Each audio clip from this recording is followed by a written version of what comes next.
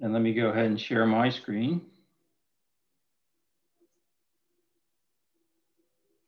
There we go. Father, are we, uh, the slides coming through okay? Yep. Very good. Okay. So I'm Paul McLaughlin. I've been a parishioner at St. Patrick's for the last two years. And as Father mentioned, I do work for Honeywell. My role there as chief engineer is to look after uh, our process control systems. These are the computer systems that manufacture very critical uh, materials in critical processes like oil and gas, um, pulp and paper, uh, wastewater treatment, food and pharmaceuticals, things like that. And of course, cybersecurity is a critical element uh, along with safety and reliability. Uh, it's one of our bedrock principles to ensure that we have continuous well operating systems. So on uh, the occasion of this Memorial Day, I would like to welcome everyone to uh, this presentation. As we go through it, um, do feel free to ask questions. If you want to put them in the chat window, we'll take a look at that as we go through. Uh, we'll also leave some time at the end. So as Father mentioned, uh, there are quite a lot of headlines every day. There's a new headline about cybersecurity breaches both large and small, um, affecting individuals, affecting corporations, the government, uh, you name it. There's just a few here, like the uh, recent um, attack on the Colonial Pipeline, which has driven up gas prices that you've seen. But it's uh, it is quite a, uh, and I'm sure you all know since you're here listening tonight, you, it's a very critical topic for uh, for us as individuals. Our goals for the session, I've really laid out three. One, to have an increased awareness of safe computing.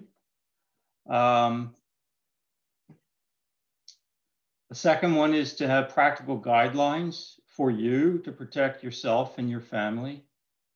And the third is to give you some resources for further information to increase your knowledge and awareness of cybersecurity. So I'll list uh, a lot of sources for material as we go through. Uh, most of them or all of them really readily accessible to you. I will try to avoid um, unnecessary jargon. The computer industry is chock full of a lot of uh, terms that seem arcane and bizarre, and I'll try to avoid that. Or when I do need to use one, I'll try to define it. So our agenda for talking about cybersecurity is really threefold as well. So clearly, cybersecurity is, is a key topic, but in the broad brush sense of cybersecurity, there's a lot of other things to worry about. Of course, data privacy, your data and your privacy is critically important. And third, technology beyond personal computers and smartphones. What does it really mean? What's it doing? How's it helping or hurting us and things like that? That's also an aspect of security that we'll talk about.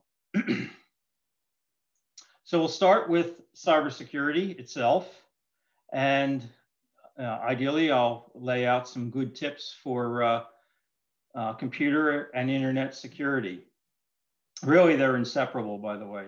Computer, cyber, internet, and so forth, cellular communications, it's all rolled into necessary hygiene for good practice.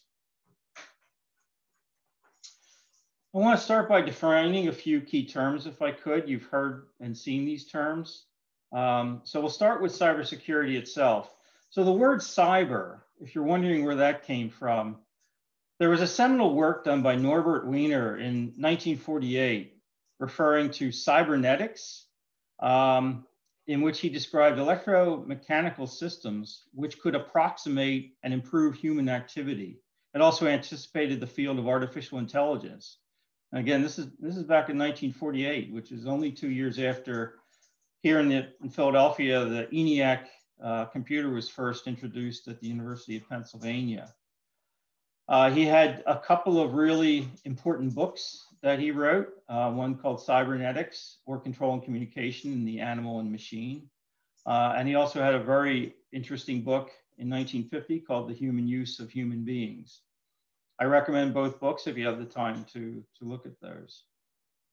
So that's where the term cyber comes from. And of course, it really just means now computer or internet or cyberspace or anything dealing with digital technology. Cybercrime, of course, that's the bad stuff that people do in a criminal behavior. Malware, malware is a portmanteau of two words, malicious and software. So malware is just malicious software. The, um, and we'll, we'll talk a lot about that. Man in the middle attack, that is a very uh, important type of cyber attack where you will find someone will impersonate or silently participate in a two-way conversation and perhaps manipulate the message between the two parties in a malicious way or in a way to steal information, things like that. In uh, the field I'm in, in process control, man in the middle attack would be something that might spoof the automation system itself and cause it to take uh, incorrect action on the manufacturing process. So it's a very important term for us. Botnet. So again, bot is short for robot, as you can imagine. And a botnet is a network of computers aggregated together and infected with malicious software. And they act as a group to do something um, of a malicious nature. So they might, for example, act to send a lot of spam email messages out to you, or they might participate in something called a denial of service attack. And the worst kinds of denial of service attacks are uh, distributed denial of service, DDoS.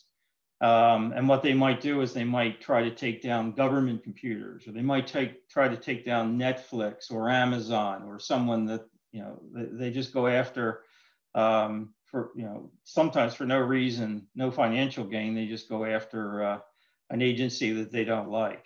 So botnets are when your computer and other devices have been hijacked to participate in an aggregate with a lot of other group computers to do something malicious. Phishing. Well, so this is a very important term. There's a related term called spear phishing, but phishing in general is where you will get an email and it might have an embedded malware program or a link. And it looks fine to you. It looks like, oh, I'm getting an email from uh, my sister or uh, my partner. Um, it could come from your employer.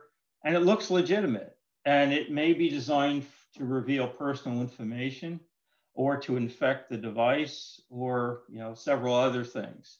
So uh, a lot of times criminals use phishing to go after your bank account. Um, so you'll see a lot of phishing emails that come that look like they're coming from your credit card company, for example.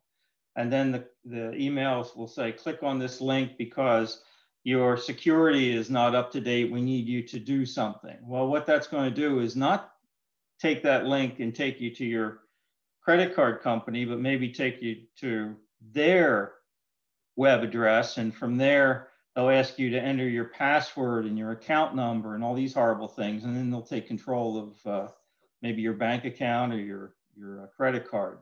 So phishing is one of those things we have to really pay attention to. We'll talk a bit more about that. Ransomware.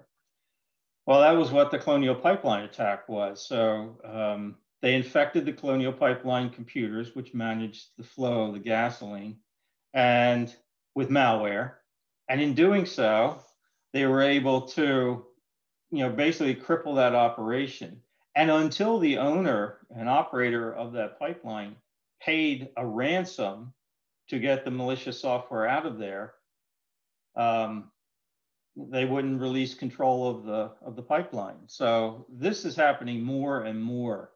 By the way, often the ransom is paid in cryptocurrency, like uh, Bitcoin or something, because those types of currencies are not traceable. so there's an intersection between some of these other technology activities you see in the news, like cryptocurrency, and you know, malicious acts like ransomware. Identity theft and spoofing. Well, the reason we still get emails um, that spoof a real person or agency is because people continue to fall for it. I saw a recent example. Uh, you're familiar with uh, Mackenzie Bezos, uh, Jeff Bezos's uh, spouse, and she intends to give away her portion of her fortune that she gained through uh, her work and her marriage with Jeff Bezos at Amazon. And so she's been working globally to find legitimate ways to distribute her wealth, which is a good thing. However, people are exploiting that now by sending emails that look like they come from Mackenzie Bezos's foundation. And there are almost an up, a, a modern, uh, I, I, say modern, nothing in cyberspace is really that old, but they uh, look like an update on the um, African Prince emails where you're asked to send some bank account information and then you'll they'll transfer millions of dollars from this country into your bank account. Well, the same thing here. There have been people who've been affected uh, by fake emails using Mackenzie Bezos's good name to uh, appear that they're uh, reaching out to distribute money, but in fact, they're looking to uh, steal money from your own accounts. A rootkit is a especially nasty form of malware. A rootkit actually attacks the fundamental operating system of the computer itself. And once you have a rootkit, there's really nothing you could do. You can't get rid of the virus. An antivirus program can't remove a rootkit. You, all you can really do is reinstall uh, what we call from bare metal. You have to reinstall all your programs and your operating system uh, from a clean machine to get rid of the thing. So a rootkit is especially nasty. Now, what it does is it may do things like um, do botnets or it may look for information on your computer and try to steal and things, but um, pretty nasty thing. I'm sure you've all seen examples of two-factor or multi-factor authentication. This is certainly getting more popular. People realize that password protection itself is not sufficient to guard against um, cyber attacks. And so, for example, you may go on to your um, online to look at your bank account. And what the bank will then do is send you a separate code using an SMS message to your cell phone that you would then enter because they know your, what your phone number is because you've given them that information. And so you're actually authenticating yourself two different ways, one through the password and the other through um, proof that you are in possession of your phone and that you can enter the special code they send you. It doesn't offer perfect security and does require this extra step, but it does make your data more secure online.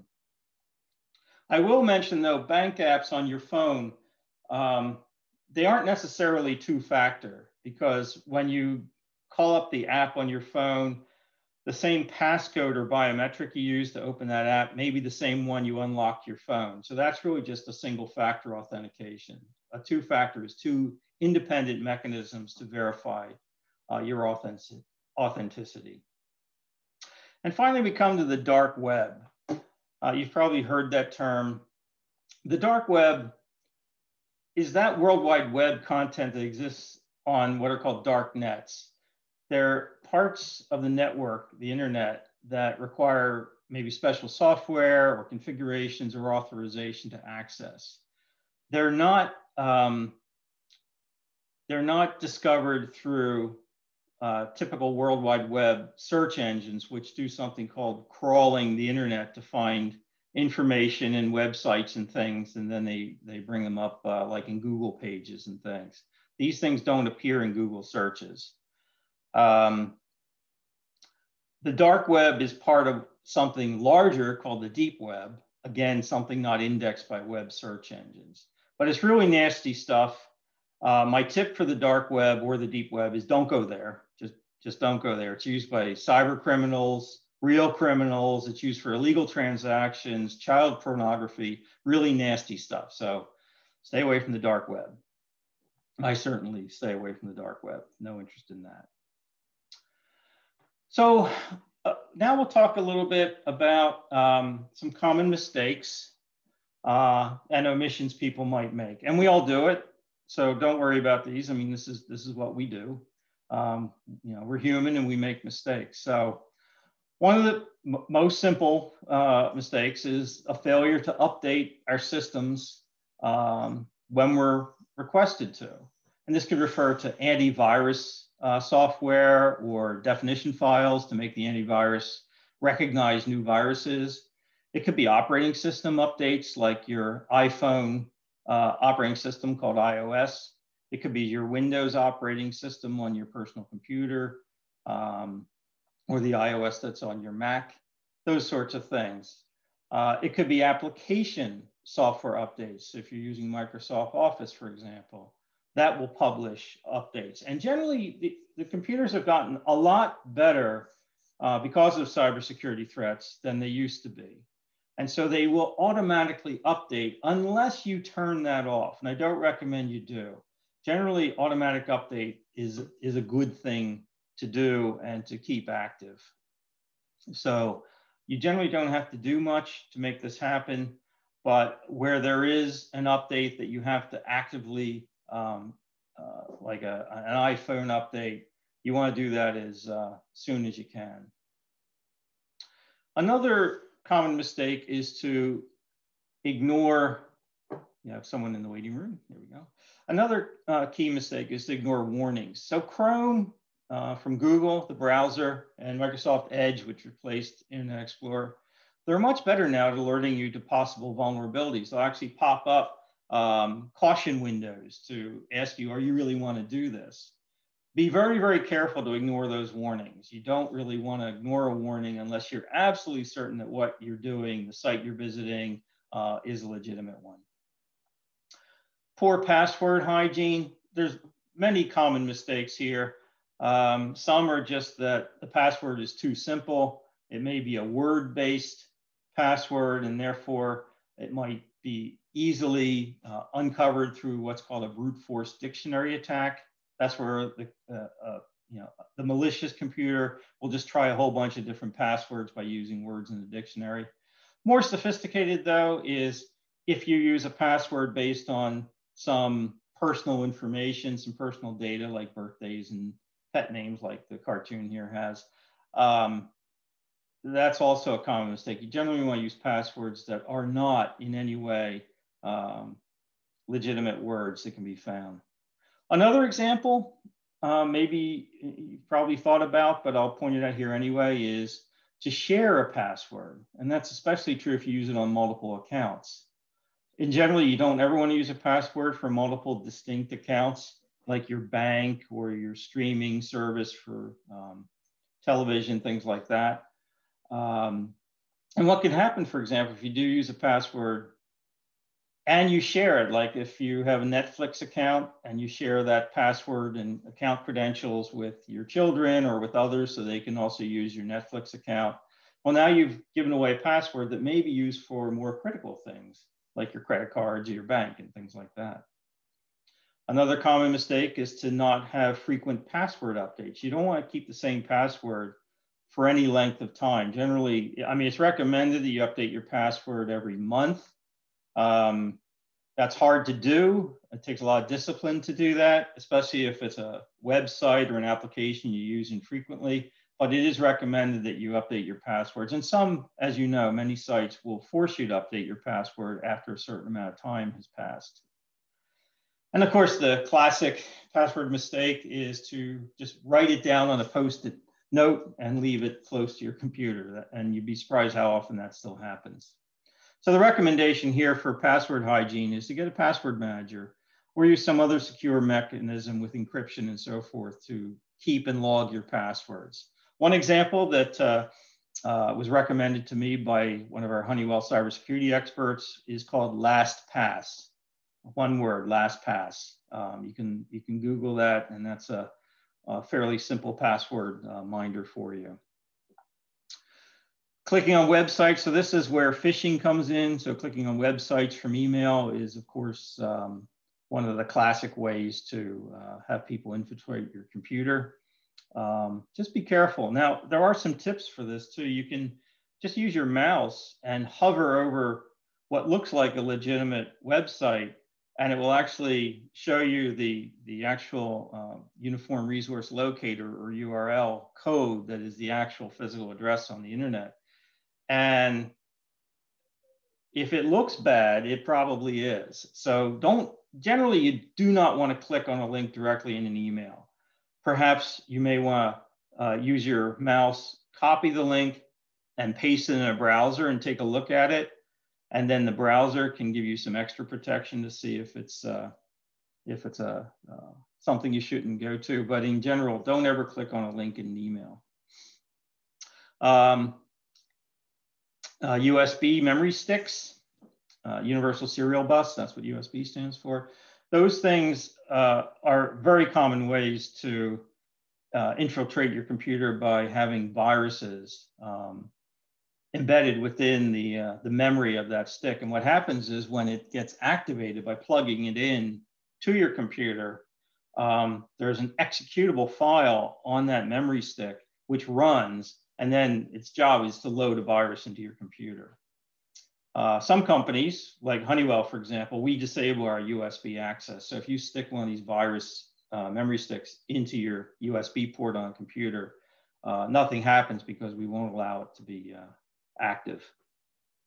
And then finally, um, public networks and devices, like going to Starbucks, for example, and using your computer. Be very, very careful here. Those Wi-Fi networks are not secure and they can be eavesdropped.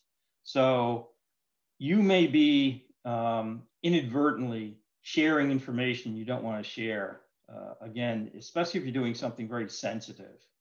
Now, there are ways around that. If you use a public Wi Fi network, then it's recommended you use a virtual private network or a VPN. And a VPN um, overlays the network communications and provides a level of encryption and security so that you're not actually putting information out on the public Wi-Fi. Okay. So we'll go to our next slide here. And of course, you know, why does phishing work? So we've talked a little bit about this uh, exploit where people uh, click on links and give, give away information. It works because they don't need everyone to do it. They just need a few people generally phishing is a broad-based attack on many, many people. Um, and if, especially like to corporations and companies and organizations and so forth, and they get one person, they may be able to then infiltrate that computer network, that company's computer network, and then through rootkits and other malware, um, spread out through many different computers. So it's unfortunate, but it does work. And uh, again, we need to be ever more vigilant against this one. Uh, some of the familiar types of phishing attacks, um, I can speak from personal experience. You might get an email from a family member or a friend. Maybe it's not someone you've talked to recently, but they're very familiar to you. And they say that they're in another city and they want to fly back, but they, they had their wallet stolen, they lost their credit cards, they have to buy, buy a plane ticket could you buy it for them? That's a very common phishing attack. Another one is someone says, oh, um, I've got a niece who has a birthday coming up and I need to get her some iTunes gift cards. Could you buy them for me because I don't have my wallet handy or something like that? It sounds a little bit suspicious, but you know the person it's coming from. But in fact, it really isn't because they're spoofing someone in this phishing attack. Um, another classic is you get an email from your bank and it has all the right credentials and it looks like your bank and they've got the splash screen in the email and um, now they're asking for some personal information. Never ever respond to an email from anyone with personal information because uh, that's a classic phishing attack. It used to be these phishing attacks were very easy to spot because they had misspellings and bad grammar and just just very coarse mistakes. The problem now is they are way more sophisticated than they ever used to be. So it's very hard to spot a fake email. So the watchword on this one is if you're not sure, don't trust it. Even if it's from your employer.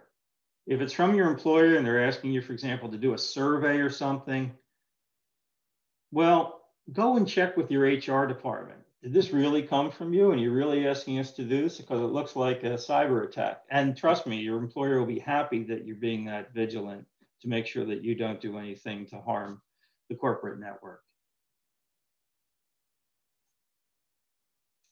Let me just pause for a moment here before going on to this next uh, this next section here that I've uh, called up from Consumer Reports. Do we have any um, questions or comments so far? as the pace uh, okay for everyone?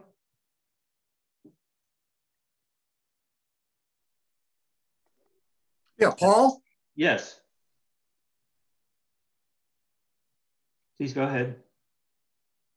Oh, I think he froze. I think that's uh, bad internet connection. From my end? No. I can hear I can hear you fine. Okay, you froze for a second there, Dad, but I think we're good now. You could try it again. Okay, Paul? Yes. Uh, so far, I mean, everything is very, very, very interesting and so forth. I, uh, uh, I've, I've already got questions, uh, you know, buzzing through my head here. Um, when you talk about one of the things you talked about was unsecure public Wi-Fi. Yes. We just got off. We just got off a road trip, and uh, I use public uh, Wi-Fi at airports and hotels. Yes. They secure, you know,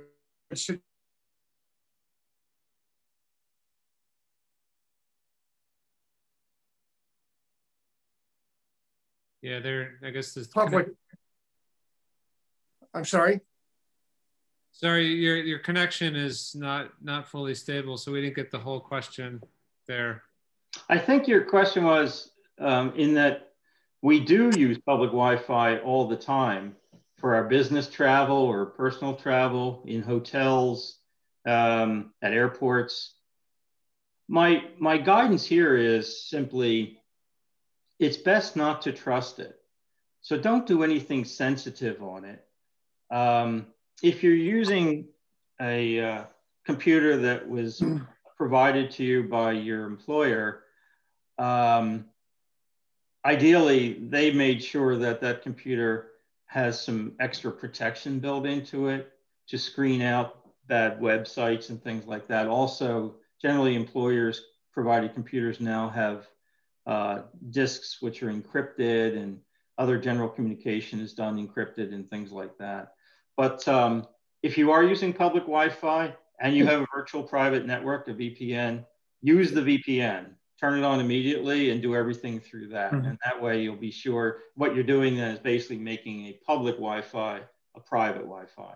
Well, what I what I was going to say is I only use the public Wi-Fi things to connect for playing games and uh, or, or, accessing Facebook, uh, things like that, which I don't see that there's any threat personally. I would not do any bank transactions, uh, anything like that using public Wi-Fi, certainly not. But if if if the insecure situation, if if I'm doing things like just playing games, mm-hmm. internet mm-hmm. games that uh, you know the games that require the internet, say for instance poker, yeah. Uh, where you're playing other people online. I don't, and, and, this is not for money. This is just play, play mm-hmm. stuff. Right. Uh, you know, if I if I'm accessing Facebook, I don't I don't care if somebody uh, sees that. Uh, uh, is is that is that maybe not a wise? Well, again, it's a gray area because let me point out, as soon as you connect your computer to the public Wi-Fi, if there is a malicious actor active on that Wi-Fi network, they can start probing your computer, even if you don't oh, do anything. Oh, remotely, they can remotely yeah. get into your computer. I see. Yeah. So. So what what I what I'm doing can be can be completely innocent, what they're doing is not. Yeah, that's right. And I have no control over that. That's right. So, you know, when I travel to certain countries around the world, um, I assume as soon as I put my computer or my phone on that country's network, it's something is going to start probing to pull information off of it, company secrets, things like that. And so the first thing I do is connect to a virtual private network back in the United States so that my computer acts as if it has a secure channel to the United States and it can't be probed by you know mm-hmm. that other country. So mm-hmm. the best advice I can give you is um, use a VPN if you're using a public network. That's what I would do. Um, mm-hmm. Or use a device that doesn't have anything on it that you're um, unwilling to lose. So mm-hmm. yeah, sometimes what we'll do is we'll take a computer that's been cleaned out of anything sensitive, proprietary, and so forth, and we'll just use that as a, a, a machine to be able to do basic services like, you know, download a boarding pass and things like that. Okay, one, one other quick question. Say when I turn on my cell phone, mm-hmm. I've, I've got a I've got a password to get into my cell phone, and I don't I don't change that password. I mean, it's it's uh, um, it, it's it's a it's a date that's it's an anniversary date that's that's that I can easily remember, and it's just turning on the cell phone. And, and you're suggesting that you change that monthly? Just, um, just access your, your cell phone? Uh, it, again, it's a recommended practice that you change your authentication access to your cell phone, like your iPhone or your Android device, um, on a frequent basis. Maybe not monthly, but um, for example, at my company, we, we're forced to change our access passwords to our iPhones every three months. Mm-hmm. Okay. Okay. Thank you very much. Sure. So let's this next slide here. I'm still in part one, um, but in part one, again, this is the main you know thrust of our discussion on cybersecurity. So this issue of Consumer Reports came out um, February of this year. It's excellent. It, it's a great um, really readable, uh, as Consumer Reports always is, with you in mind. And is, it has four key areas keeping the bad guys out, guarding against viruses and malware, um, recognizing that stuff will break or get lost, uh, and also very important, making sure your own home network uh, can't be hacked. Something we often overlook because you know up till now we talked about phones and PCs, but uh, your home Wi-Fi network is critically important to keep that safe. Um, so some really great examples of guidelines here, keeping the bad guys out, you know, password manager, multi-factor authentication, like we talked about, how to avoid phishing scams. Um, we talked about keeping software updated. There's some opt-in things you can do by changing security and privacy filters to make them even more rigorous. Uh, they're worth looking at. This one we haven't talked about, um, a failed computer. It happens all the time. Your computer will die and it'll take whatever data is on it with it for the most part.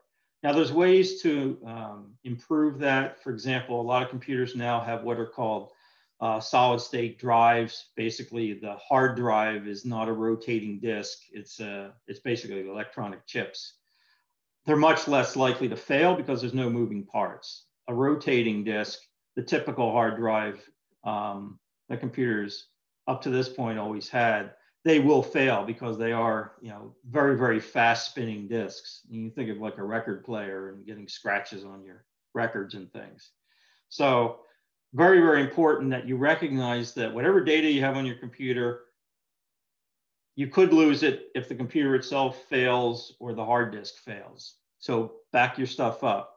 Now, where do you back it up to? Well, obviously you back it up to some other device. Um, you might have a uh, external hard drive that you use. I use um, solid state uh, external hard drives. I also am somewhat um, concerned about losing data, so I have multiple external hard drives I back up to, and then I keep them in different locations. I might have one uh, here at my house in Philadelphia. I might keep one in my office at work. I do that because it isn't just that the device might fail or get lost or stolen. It could also be you could have a fire or some other, you know, water damage or something that destroys the device. And there's also ways to back up your data using the cloud. There's a lot of uh, very inexpensive cloud services. Apple has it, Microsoft has it. Um, and so you can back up a lot of your data uh, securely uh, in the cloud. Uh, and Apple and Microsoft, uh, I do recommend, they both have very secure cloud services for storing a lot of data. But they're not perfect either. So I, I think a balance uh, is in order. So let me talk a little bit about this last one here, hacking proof your, uh, your home network, because this is important.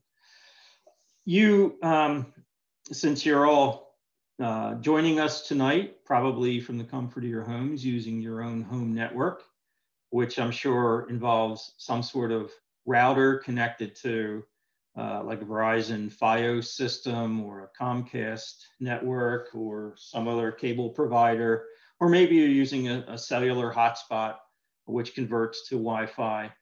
Um, I'm guessing a lot of you are using Wi-Fi tonight. And there's secure Wi-Fi and there's insecure. Even if it's your own private network, you want to make sure that you've got security turned on on your Wi-Fi network. A couple of simple things I like to do. There's a um, the name of your Wi-Fi network uh, comes as a default when you get the router from your provider. I always recommend you change that to some name that's meaningful to you. It doesn't have to be an encrypted name or a, um, a like a password. It just has to be a name that you recognize. Um, that uh, that's called an SSID or a service set identifier. So that's when you join a Wi-Fi network. That's the name that the network identifies itself as. I also recommend that you change the setting for that SSID to be non-broadcasted. By default, that, that network name is going to be broadcasted so it's easy for you to find it and connect to. But what I actually recommend is you go into your router settings and make it non-broadcast. That will prevent people from sniffing your Wi-Fi and trying to hack into it. Because if they can't see it, they, they can't get into it. Um, there was a movie many years ago uh, with a young Matthew Broderick called War Games, and he did something called back in this movie war dialing. This is when computers were accessed through computer modems and dial-up service. And so he basically you dial a bunch of phone numbers to try to find a, uh, an access point to a computer network, and then when you find it, you try to hack into it. That term's since been changed to war driving, and what that is is that's people driving around in cars with Wi-Fi sniffing equipment to find your Wi-Fi network and then attach to it. Sometimes it's not malicious intent. They just need a Wi-Fi hotspot because they want to get on the internet, but it could be malicious. And one thing I want to point out is um, the address of your computer that you use at home is one of a, a set of addresses that are basically private addresses, but they link to the the gateway address that you're provided by your internet service. That address is the endpoint for your home. It's that address that if someone's doing something illegal uh, or nefarious using your home network by hacking into it, the FBI will trace that to your home. That's as far as they can come. They'll see, okay, so it's this this address at this location is doing this nasty stuff let's go there and seize all their computers. You didn't do anything, but someone hacked into your network and did some bad stuff, and it brought the feds down on you. So uh, I don't want to scare anyone. I just want, it's very, very important that you take security for your home network very, very seriously.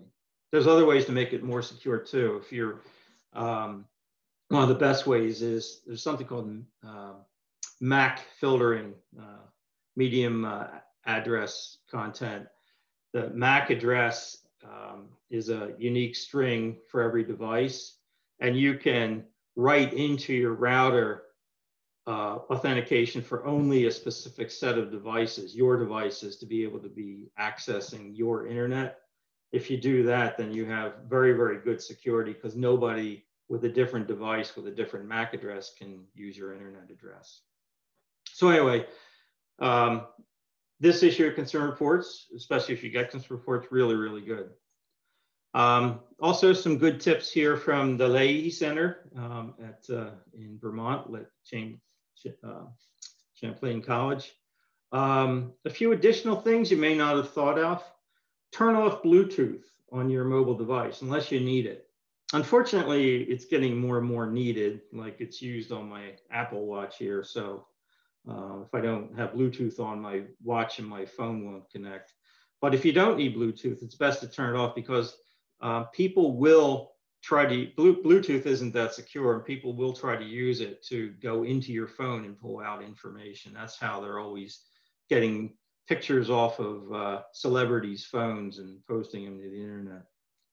Another tip is don't auto connect to Wi-Fi. So there's settings in your phone as to whether or not you have to be asked to join a network. Do that so that your phone isn't automatically connecting to perhaps a suspicious network. Don't leave a device unattended or unlocked um, because if you do, someone could get to it and put in some malware or even worse things. They might, um, like if you're at work and you walk away from your desk and you have a coworker that uh, doesn't like you for some reason, they might walk over to your computer and spoof you, make you know send an email to someone else as if it's from you because it came from your computer, and you can imagine some nasty things that could could ensue from that.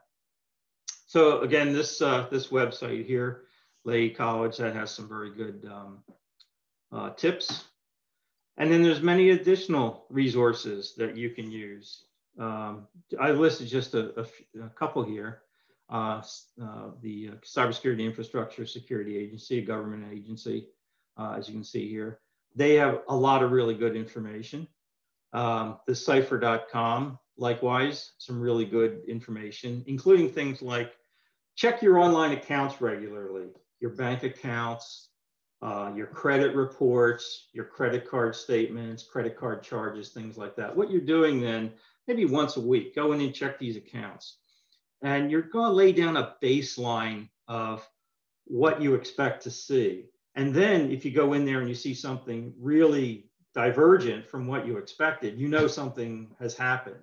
So it's best, especially since you know many of us now have so much of our you know bank and credit and so forth online. It's important that we vigorously check those things to make sure that uh, no one's gotten into those things. I'll also point out this is in the cybersecurity thing, but the credit card debit card thing. Um, something I always you know tell our kids: don't use a debit card for anything other than withdrawing cash in an ATM because Credit cards by, by the US government have a lot of protection on them, meaning if there's a fraudulent charge, you're not responsible for it.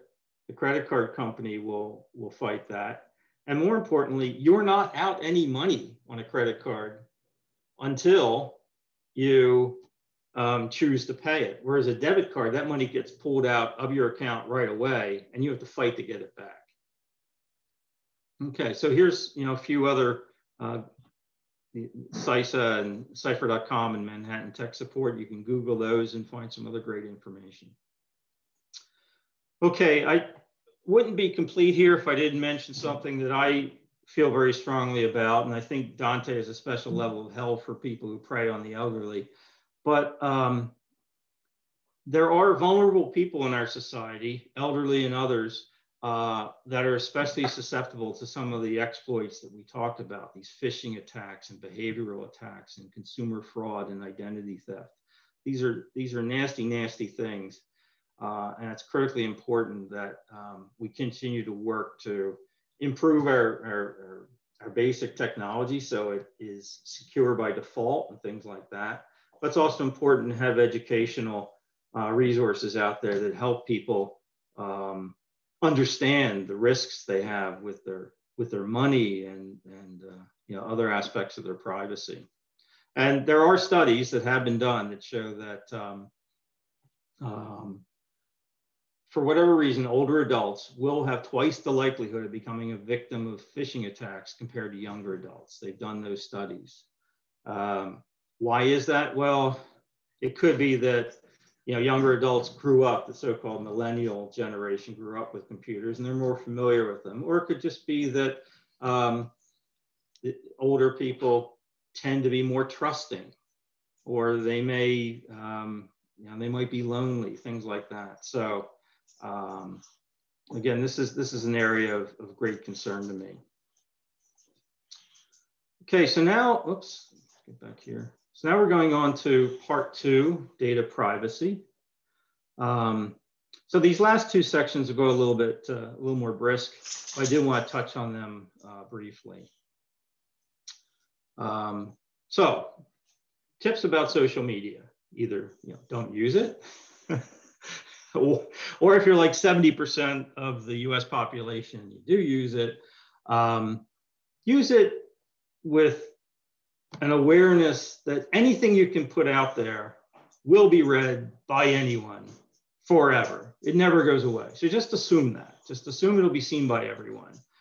Your online material is going to be seen by employers. It's going to be seen by school admissions officers. It's going to be seen by the police, by the government, your spouse, your friends, your family, your priest, everyone. Just assume that, and that'll be a good guideline for deciding should I post this? The top five social media mistakes include, and this is a cybersecurity thing, sharing personally, identif personally identifiable information. We've talked about that. But it can include things like email address, driver's license, social security, bank card, credit uh, account numbers, things like that, passport numbers. Now, there are legitimate online services where this information may be needed. If you're at requesting a visa to a foreign country, they're going to ask for your passport number. There, you just need to be certain that the website you're working with is the real website from that government and it's not a spoofed website. So I can't advise that you never put this information out online because you may have to. You just have to be very careful to make sure that you're talking to uh, the agency you think you're talking to. And it's hard to know because it's not like talking to a human. You can't see and feel and touch them. They're just a bunch of cyber data on a screen. So be very careful. Geotagging. So that's a term, it's like when you take a picture with your iPhone, uh, it will include metadata with that picture, obviously things like time that it was taken, time and date and so forth, but it also includes the location where you took it. And if you post that information and make it available, that can be a very dangerous practice because by sharing that photo in real time as you take it, that's letting strangers possibly know where you are at that moment. That means people that you don't know might come up and try to spoof you and meet you. They might try to detain you or do worse things. Also, remember, if you're posting information about not being home, perhaps being away on vacation or traveling, what, what you're telling the bad guys is there's nobody home, go ahead and break in, steal whatever you want because there's no one there to stop you. So be very careful about information you harmlessly or seemingly harmlessly post uh, in social media because it, it can cause you some trouble. Um, not locking down privacy settings, that's pretty straightforward. Don't accept friend requests from people you don't know because now you're letting them into your personal information that you want to keep private. Um, quizzes and games. Um, you know, we just talked about the poker game those things are great uh, um, Trojans for malware uh, and other uh, exploits to get into your computer, or just to be able to get privacy information. I'm sure you've all seen um, quizzes and questionnaires and things to tell, you know, you know, who's your ideal mate and all these kinds of strange things. And they ask you a bunch of questions about yourself. What they're really doing is slowly gathering a lot of information about you. And what they're going to do with that is they're going to aggregate that plus other information they find out about you somewhere else, like school records and somewhere else, you know, employment records. And they can build a whole identity about you and use it for identity theft. So be very careful with those things. Likewise, these uh, online memes and games, again, they're also uh, notorious for uh, pulling information about you, aggregating it to a large data set, and then uh, exploiting it.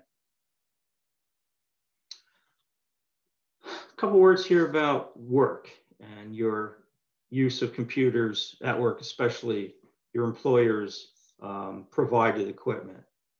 Just again, assume that everything you do on your work computer or on your work network um, can be read or seen by your employer. They can see all the websites you visit. They can turn that information over to the police if they have to. So my recommendation with uh, work resources, computers, phones, etc., or when you're on a computer network at work, even with your own personal equipment, my recommendation is only do things which are truly work related. Now, interestingly, we're talking tonight. This computer I'm using is my work computer, but that's part of Honeywell's outreach to the community so that we, the employees, uh, work within our communities to try to um, share uh, information that might be useful or do other good things that can help the community. So this is a legitimate use uh, of computer equipment from my employer. Uh, and I'm certainly not sharing anything that I would uh, not tell them directly. So now we'll move on to part three.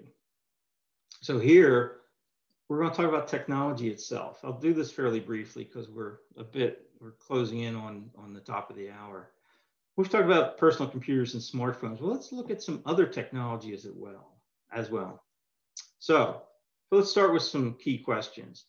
So a couple of books I read recently I found very, very useful. One was called A World Without Email and another was called Digital Minimalism, um, written by Cal Newport. I really recommend these books. Um, they really give you some probing, insightful thoughts about technology. Is it helping us? Is it hurting us? Uh, you know, what, how's it changing our behaviors and our perspectives, things like that. So I've written down just a few key questions to think about um, with regards to technology. Is it making us happier? Is it making us more productive? Might it be making us more stressed or anxious? Is it making us safer and healthier and more secure? Is it giving us more free time or is in fact stealing time from us as we support all this technology? Is it going to be obsolete? Look at cell phones, for example, and how frequently they come out with a new model every year and expect you to once again shell out money to have you know, three lenses on your camera instead of one, so forth. Planned obsolescence is, is a huge part of consumer goods. And so, is it really helping you save money? Is it money well spent? And those sorts of things. So, you always want to go in looking at technology eyes wide open and, and really ask yourself, is this going to you know, really do for me what I expect it to? And there's so many good online resources now that give you ratings and insight onto different types of technology. It's worth reading those before you invest in anything or use it. So uh, Consumer Reports again had a great um, uh, article in their January 2021 issue about smart home technologies and how these can really help uh, improve your home. And they can. But I also list some concerns with them. So some of the key themes, spousal abuse. And I don't mean um, specifically physical abuse here, more mental and, and, emotional abuse. But for example, there have been, unfortunately, a number of cases where um, because the smart home allows uh, a person to do things remotely, use cameras, change the uh, heating set point, or maybe change the combination for a cyber lock on the front door. People are doing some really nasty things with this technology. So that's a major theme we have to watch out for. Elder care would be an uh, uh equal example. These things are, can be technically difficult to understand. They can also present memory concerns, like if you have to remember a passcode to get into your home instead of just using a physical key, that might be a challenge for some people. And remember, these devices can be hacked. They have as a default a manufacturer password built into them. All of them. If you buy a smart TV, um, that manufacturer that TV has put in some default credentials for uh, how that um, device can be set up. And if you don't change that, um, cyber criminals can can use that to get into your device. And remember, like a smart TV, it's a computer. It, it has a microprocessor, and it has it's you know it's basically a computer hooked to a high definition uh, video console. That's all it is, and it can be hacked just like any other computer. And also, finally, of course, things work until they don't. so you've all, I'm sure, have situations where you've been working fine with something and all of a sudden it doesn't work and you have absolutely no idea why it stopped working. It isn't necessarily a cybersecurity thing, but it is a cyber topic. So for anything you want to get, go through each, look at the pluses and minuses. The smart doorbells are great. You know, they give you more security. They're great for deliveries, but like I said, they could be abused. Smart thermostats, great for energy savings, great for home comfort, but they can be hacked. Now, what does a hack of a, a smart thermostat look like? Does that mean someone's going to sneak in and change your temperature setting? No, but they might go in and look at your profile as to uh, when you have the thermostat go into a I'm not home mode, you know, some sort of uh, eco mode. Uh, and that can give information you don't want to share about yourself to someone about, well, uh, this person is at work from eight to five, therefore that's a good time to go rob the house. Smart locks, like I said, you know, really good for, um, know, keyless entry, like on your car, is a very convenient feature. It also allows for certain monitoring of who's coming and going. But again, if you have a hard time remembering the codes and things, um, or if it gets hacked, you may be exposing your house to a breach.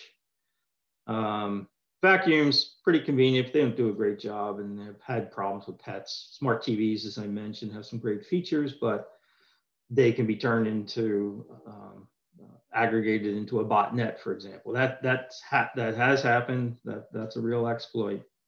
Uh, by the way, these are all real exploits, and these aren't theoretical. These are things that uh, have happened over the years. Leak detection systems, um, these are great for, uh, for your water supply so that they auto shut off if they detect a leak. That's mostly a good thing. Uh, there may be a case where you might have a false positive, like, you know, if someone's in the shower, then someone turns on the garden hose, maybe it appear to be a leak and it shuts off the water and there you are standing in the shower, but that's, that's not too bad. Smart garage openers, they're very good. Um, they're great if you have kids, you need to let them in remotely. Um, but they're complex to set up and they're expensive. Sprinklers also good um, for water conservation. They're generally better than just pre-programmed sp sprinkler systems that run whether it's raining or not. Uh, but again, there's complexity issues. Lighting, again, very good convenience, but it takes some uh, effort to get those things working. Security cameras.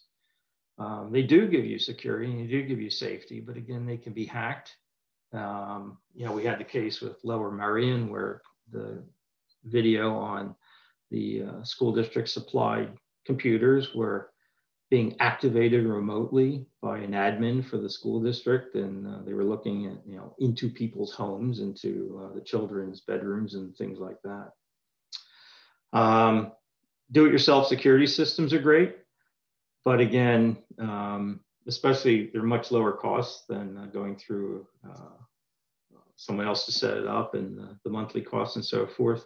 But it may give you a false sense of security if it really isn't set up well.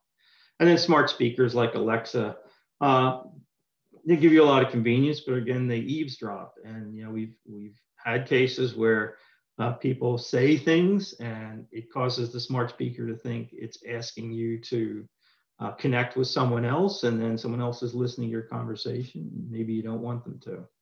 So again, there's a lot of really good strengths to this emergent technology and how it can make your life easier. But again, eyes wide open, there are downsides. And of course, technology fails. Um, you've all seen articles about Zoom fails. Hopefully, we haven't had any on this call, but uh, where you show or say things that you didn't really want to show or say. Um, there's an over reliance on technology. Um, you'll see people in the airport, in the boarding area, waiting to board the plane, and they've got their smartphone, and that has the boarding pass, and the battery dies, or they don't have an internet connection, they didn't put it in their digital wallet, and now they can't get on the plane. So it's a good idea, have a paper backup. Likewise, if you're traveling somewhere, Google Maps are great and they'll give you real-time traffic and all that kind of stuff, but at least know where you're in general where you're going. So if your phone dies or there's no cell coverage, well, at least you can more or less get there the old-fashioned way. So a lot of these ideas on technology fails are don't be overly dependent on technology because it will fail. Um, and so it's good to uh, also practice things that you knew from before you had all this great new technology. And of course, one of the great technology fails is autocorrect fails. I like this one especially. Um, and this, you, I'm sure we've all done this. I, but you can, if you want, turn your autocorrect feature off in your phone by going to the settings, the general tab, and then the keyboard and turning it off, and you won't get these pesky issues.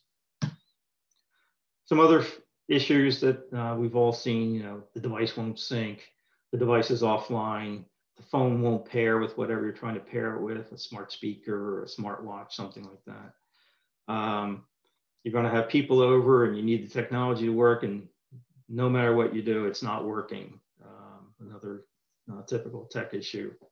Mobile might have a dead battery.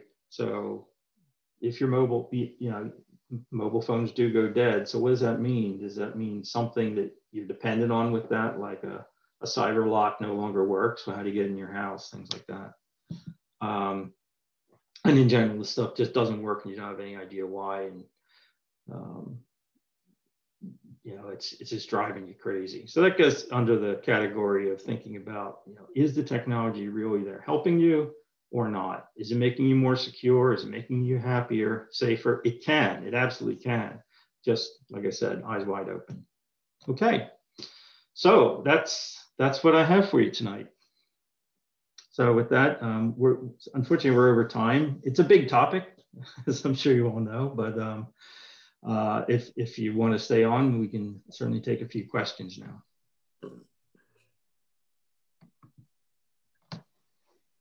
Yeah, Paul, this this fascinating presentation. It's uh, very very well done, and thank you so much for doing it. Uh, you know, occasionally I, I get things on my phone like we all do that, that I've won a, a contest. And the contest will be under the, the letterhead of a, uh, let's say a, a, Costco or something. Right. Or a FedEx or, or some other corporation. It will have the logos on there and everything else. And and then they're gonna they're they're you have to open a link or something to find out more information. Now, what you're saying is that you can't really trust anything today, anything at all. It'd be wiser to to distrust it than than, than it would be to trust it. Maybe it is legitimate. Maybe I, I that I actually won uh, a new car or something, but uh, the uh, I, I, I, guess what you have to to to to err on the side of caution, I guess you you just have to not go there, right? Well, or as Reagan said, trust but verify. Um, so if you have a way of verifying it really did come from who you think it did, um, that may be okay. But of course, the other you know cliche here is uh, you know there's no such thing as a free lunch, or if it sounds right. to be true, it probably is. Th- those rules still hold. If it sounds too good to be true, it probably is. So no, you know, no one's giving away stuff, uh, especially if you didn't enter the contest explicitly. So, and even if you mm-hmm. did, could be a spoof. So yeah, you you um, you, you just need to verify those things, especially if they're looking to get some information or some money from you. Never, you know, if you get an email asking you for money, never send money. That's that's always a phish. Mm-hmm. Yeah, yeah, especially credit cards. Uh, I mean, gift cards. Um, I you know, we have a smart TV and we have a vast um, security system. And I bought an Omni and hooked that up to the router, uh, to the, the router. Mm-hmm. And I was surprised that I get these um, text messages that say that you just, you know, they've just blocked a security hack on your TV. And it, it was really a surprise to see those. So I was glad that we did that. Yeah. Again, this is, as I was mentioning earlier, the, the technology is getting better at detecting and preventing uh, breaches. However, it tends to always be one step behind. The criminals are always, you know, they know what the um, cyber protection is and they find ways to go around it. And um, until the antivirus program or TVs are especially bad because they don't get firmware updates very often. Um, you actually have to go into your smart TV and demand a firmware update to get the latest security patches and things. It's not like a Microsoft PC or an Apple phone. So yeah, those those are. Uh, um, I generally will like with my smart TVs uh, limit them down to just basic uh, features. So instead of, for example, using the Wi-Fi on the TV, I'll use a um, an Amazon Fire Stick, which has a lot more protection than the TV does. And also, you know, Amazon does a good job of updating their devices with patches all the time. So there's there's ways to you know, get the good quality TV experience, but not have the security issues. Well, I noticed a few questions and comments in the chat.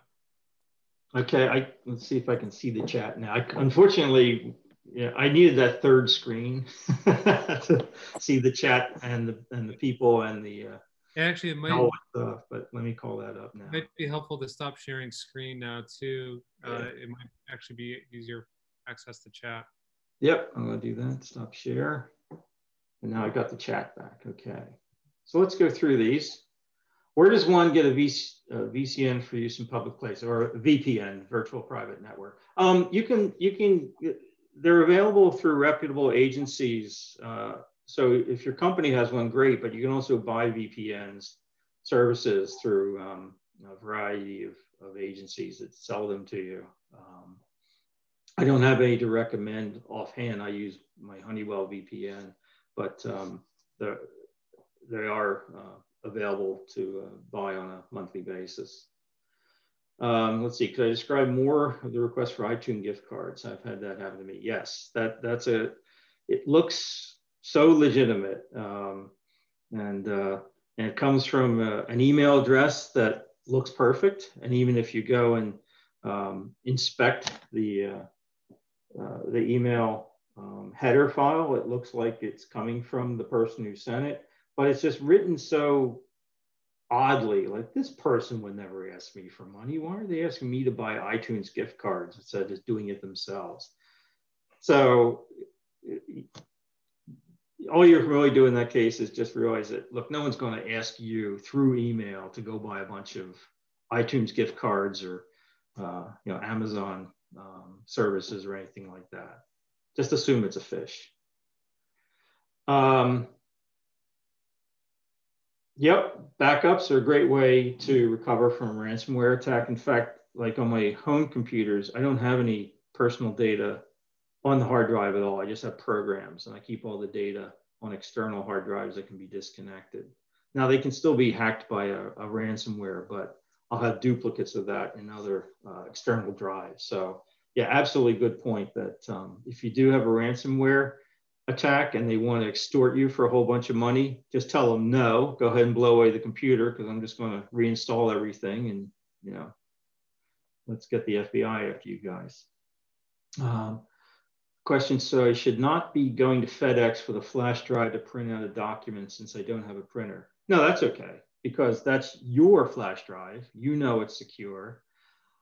You're going to give it to FedEx. FedEx is pretty reputable. They're going to take the file off that and print it. Now, it is possible that they could have a virus on their computers and it could infect your USB. So it would be best to, um, before using that again, um, do a, uh, a reinitialization of the USB memory you can do that through File Manager. You can just go in and, and uh, initialize the USB uh, and, and, clean everything out of it. So that's probably be the best thing to do if you do give it to some outside party to use. Um, accessing phone through face or fingerprint. Is that safer? Um, yeah, it is. Uh, the biometrics are safer than passwords for sure because um, they're unique. Uh, COVID was a problem with the facial recognition because everyone had a mask on. And so it's not perfect. And so that's why iPhones have the backup mechanism to enter your code. So they still do have a code, but um, yes, the biometrics are, are safer. Still, two-factor authentication is better than just relying on that. Okay, I think that was all the questions. Oh, I have a couple of questions. So uh, can you say something about how people um, access your camera or your microphone without you knowing about it? Uh, mm. And what we can do for that? Well, a lot of my computers, I have a band-aid taped over the camera.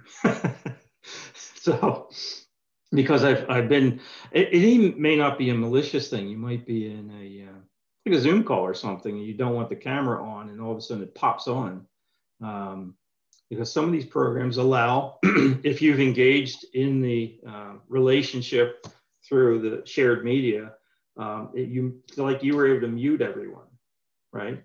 That's taking control of someone's microphone. You can also unmute people, you the host. So that's just a simple example. Programs like this allow you to take control of the, of the desktop.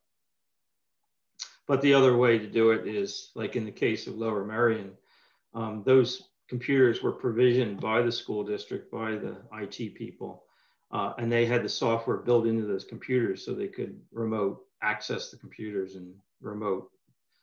Generally, that's a, a, a thing they'd want to do anyway, so that if there's a problem with the computer, they can remotely get in there and fix it. But in this case, it was done. Um, but but it seems like people somehow uh, some hackers are able to you you hear about the possibility i don't know how often it's done where they can actually have you know basically access at any point anytime that the computer or the phone is on they can yeah.